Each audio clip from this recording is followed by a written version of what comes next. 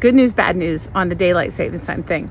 Bad news first is that today is actually going to be darker than yesterday because right now we're going into that downward trend where every day is a little bit darker and the days are shorter until we get to into late December. So not great news, but you know what the good news is? There's actually a part of your brain that is going to help you this winter change your mindset and your experience to how you experience winter. You know what that part is called?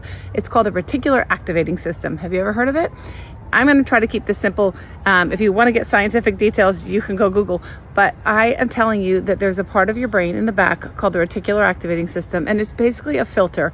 It decides what to pay attention to because technically there is way too much information coming at our brains um, for us to take it all in, right? I'm standing here right now and there are things happening all around me. There are thoughts in the back of my head about different things.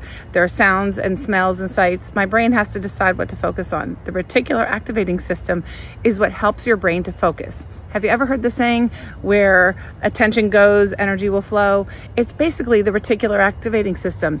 It's actually taking in all the information and deciding what to pay attention to.